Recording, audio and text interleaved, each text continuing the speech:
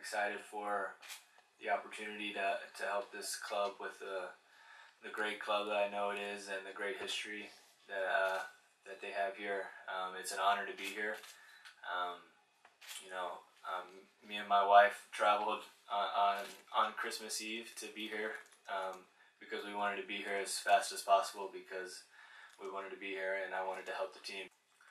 I know uh, the season hasn't started the way they wanted to, so hopefully we can, you know, build and win some games going forward. Uh, I'm excited for the opportunity, and I just want to say thank you um, for for signing me and, and bringing me here to to help you guys do that.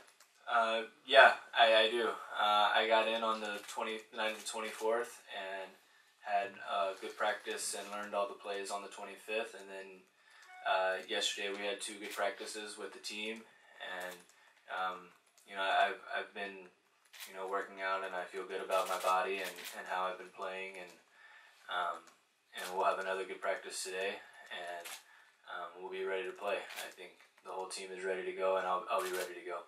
Uh, yeah, I would say my main skill is um, you know playmaking and, and getting guys open shots. Um, that's kind of been my the way I've played my entire career.